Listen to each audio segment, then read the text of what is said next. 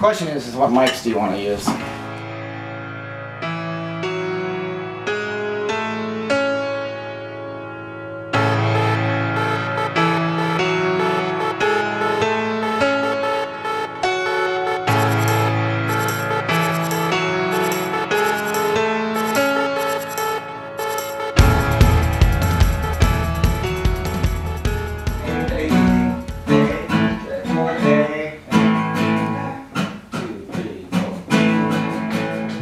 Real conscious decision to change the style and the sound and the vibe of Angels and Airwaves. I'm as aware as everybody else that by the time we finished the double album for Love, everything was starting to sound the same.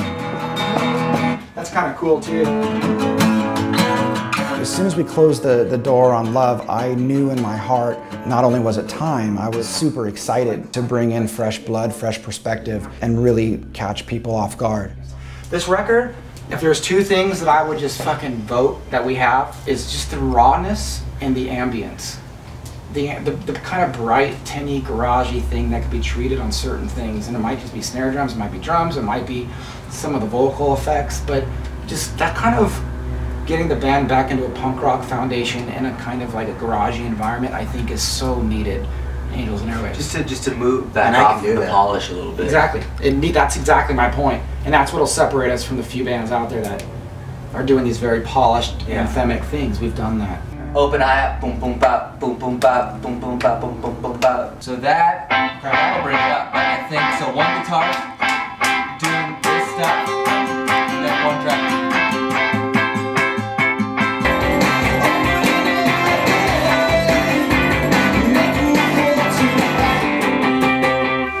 Working with Ilan brought in a lot of incredible things into Angels and Airwaves that have not been there.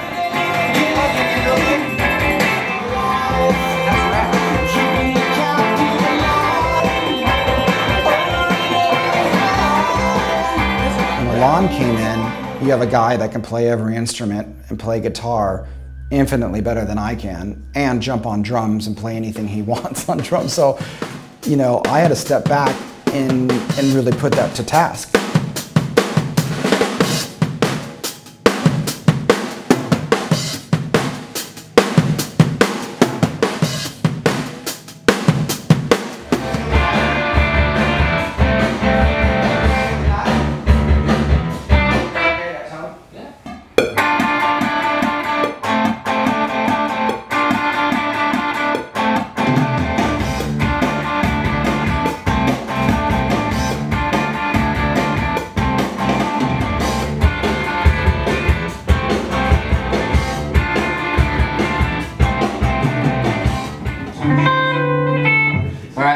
move on to the chorus?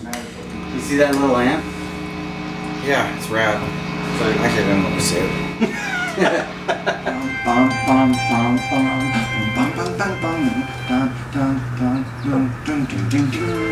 It'd be rad. So it wasn't a, a situation where I needed to relinquish control. It was a situation where I hunted down and found a person that I wanted to take over the steering wheel.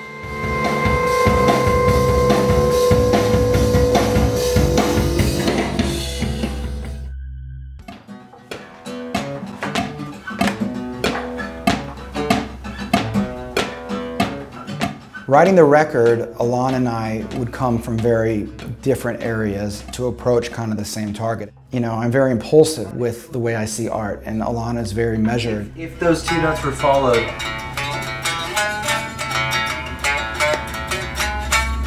Something kind of like that would be kind of interesting too. I think it'd be cool if it was a bit behind. So rather than, I mean, the, the bass will be punchy with the drums, but with the fuzz, um, rather than just having it lazy and behind. Yeah, that'd be awesome.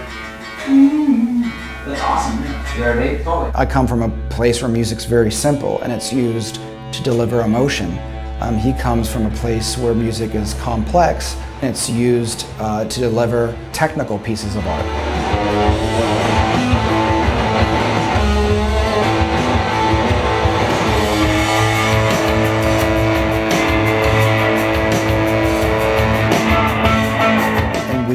Play and try and digest what each other did and then come up with ways we can twist and turn that into something that we both like. I think, I think it's I think it's turning out. It's turning, it's gonna, dude, I mean, we're just beginning with it, but I fixed the words and the lyrics. I think we're closing in on something I think is really cool. The whole song's about dreams. It took a lot of time for me to try and figure out how to write melodies over some of the things he was writing because they were just a lot different than what I've ever done. Okay, so what are you saying it should be? Instead of I'm, Oim? Oh, is that what I did? yeah, I'm. Instead of oim? I dream of God and game, die like will, a pilot flame, the glory of those hands in clay, and I'm fighting the push of the way, teenage in a wicked throne, the look of sin, the horror at home, won't survive their heart of stone. I try to do a little bit more crackle of voice too, just to switch the tone melodies up a little bit. Jump off the edge to awake, cruel words to catapult. The fingers bleed, scratch, dig for gold. You will catch up from young to old, and I'm crossing the crest of the fold. Let's get the first line of that one. Out cold and regenerate, rapid. Cool. Last one, here we go. I love the music so much. Yeah. I haven't landed a vocal I like as much as the music. So Right. fuck, I can't let this song die with mediocre vocals. I wake to a fire in the realm, little lion safe and sound. It's a wild life, so wild, crazy, cannot tame the crowd. I dream of a god in games of blood, giving hell, so pay it up. I'm a whore at home, the telephone employee of the month. Go on to this next verse. I just have an ongoing discussion in my head how many times we want to swing to something that I think is really cool versus something that I think I know is has mass appeal. And I think on this record it needs to be way more cool than that. I just want to make sure we have that. And I don't know how often we're reaching that. I just don't know yet, you know? Hmm. Because it's honestly, it's a way bigger challenge for me to write hooks and words that are matching this stuff because I haven't done as much of it. Mm-hmm. So it's just and I'm doing it, and that's why I'm singing mm-hmm. songs three, four times over again mm-hmm. because I, it's just taken a little bit more to get there. Yeah. If we look back to anxiety or surrender, Yeah. the songs are what they are, but it didn't do what the adventure did, which was a massive departure from everything you had done before. I'm just saying, if something is obviously hooky and pleasant and nice, that doesn't necessarily mean that it would do well. It doesn't. And, I don't want you to think that I'm trying to take this music in what would be considered my direction or whatever, because I personally wouldn't write something like this. Yeah. I just feel like I'm, I'm taking what you're bringing to the table and pulling it elsewhere, but it's not necessarily in my direction. I think everything that we've been doing is really interesting because it starts out with me, and you come in, you don't like it, and then I usually come in I change it, and then you change it from there, and we're usually at a place where we both go, wow. We're in a no man's land between you and I. And I think that's where it needs to be. You know, I think in my mind it's more about like trying to be wrong less. It's not about trying to be right all the time. It's just hmm. about trying to be wrong less. The one thing that I learned from the, the bit of success that I had in my life was allowing the art to pull you in the direction it wants to go. Just have it go for a while, we'll come up with a, um, some type of a hook to go over it. You have to look for the one spark that's going to ignite the fire. You know, if you're if you're if you're aware, and if you have that open mind, if you have that open heart, you'll end up with a song that you never thought possible. That really makes you much more diverse as an artist, and it was much cooler. You found something unique.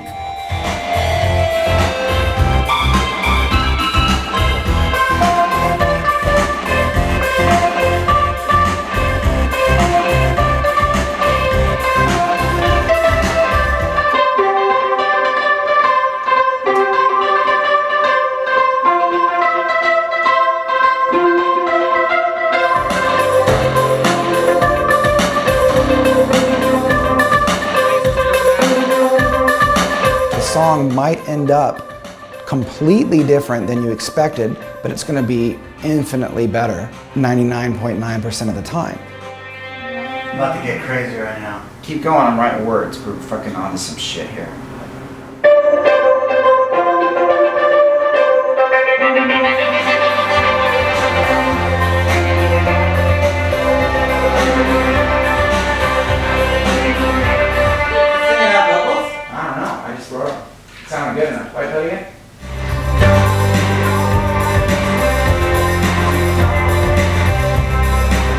Come my way, I feel like dying. Is that what I said?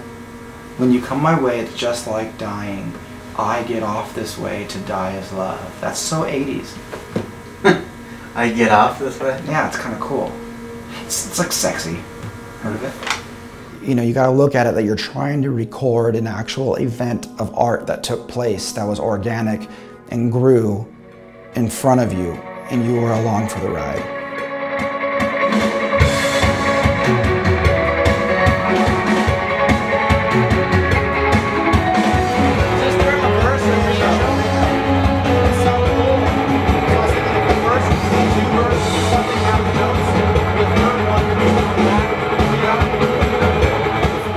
Verse doesn't need anything because the whole thing's building uh-huh. up. It's just after the first chorus, it drops back down into the reintro. So the reintro sounds a little empty because the vocal isn't there. Basically, Yeah. the verse without the vocal. Yeah, we're just doing it. Perfect. That's so, there. so right after that, into that last little verse, there's another verse, right? Yeah, there. we're still doing that over. Does that make I- sense? Yeah, I like it. So it changes each time. So what if we do? We'll do something melodic on the reintro where there's no vocal. Exactly. Then when the vocal comes back in, we'll do. Yeah, so it's kind of like a, it's more, it's more anxious. And then, yeah. When you were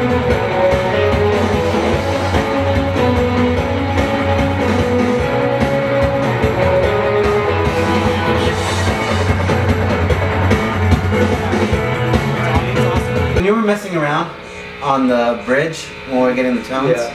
you were doing like one that was like all over the place. Yeah. What was that?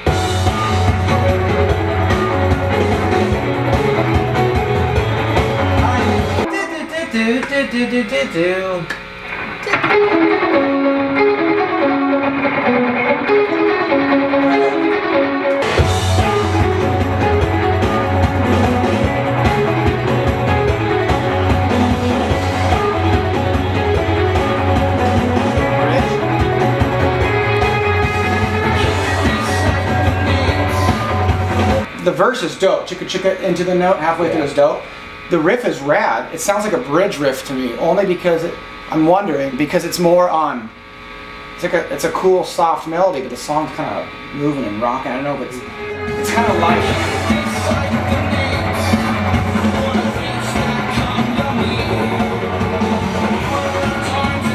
Wipe the chugs that are on there and put your delay chugs underneath that you've been doing, Uh-huh. and then do that on top of that would be kind of cool.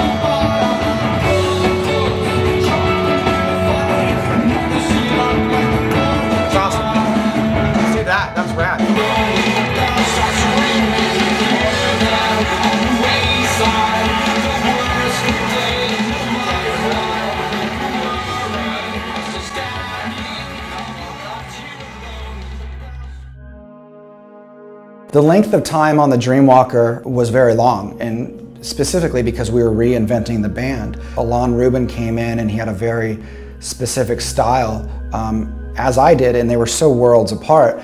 And that's why we were both so excited to do it because I think we, we complement each other in really great ways. We were talking about with releasing EPs. Yeah. Do you think that would detract from the importance of what this next release is supposed to be? the idea of an album's so overwhelming because like okay in my experience it's always like this hardcore 12 hours a day year long thing that i've done in the past but something like eight songs or 10 songs for some reason just seems so much more digestible not as a heroic kind of mountain to Mhm. to scale What I keep focusing on is that there needs to be something complete to to have something with to, to show for at the end of this span of time. that justifies it Yeah. the, the truth is to make to do a few other things that the band needs right now mm-hmm. it has to be like this album thing and it has to be like a followed by an ep versus the other way but the other cool thing that's being said is that the album doesn't have to be necessarily 15 fucking songs Yeah. It could be eight, it could be 12, it could be 10. Mm-hmm. It just has to be good and complete and, and, and a whole. Part of the process was I would work on something and then Alana would work on something. And either I or he would do something that we genuinely didn't like.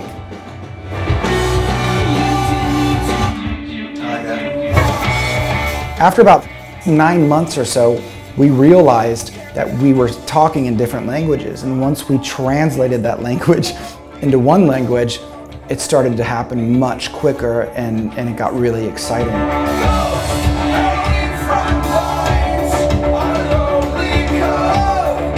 A year into it, uh, it became second nature for me and I believe for him as well.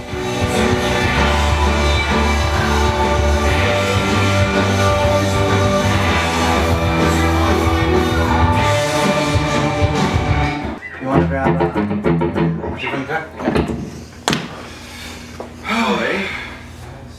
The magic.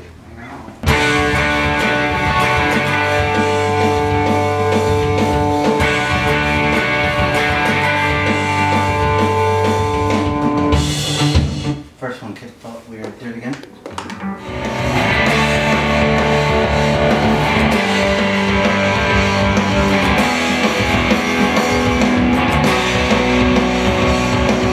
The biggest thing and the best thing you could do with art is to exceed people's expectations and give them something they weren't expecting. And um, that, those were our primary goals. And when Ilan came in, um, you know, he's got a lot of firm ideas of what he wants, what he desires, and thankfully he does because he really pushed my limits of what I was comfortable doing, and by far they were the right things to do. It was a tremendous success of two worlds meeting together.